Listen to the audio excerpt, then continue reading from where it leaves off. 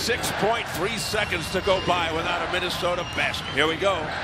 Well, this is the matchup you wanted. Wiggins raises. Oh, he hit it. Andrew Wiggins at the buzzer. They'll review it, but it looked good.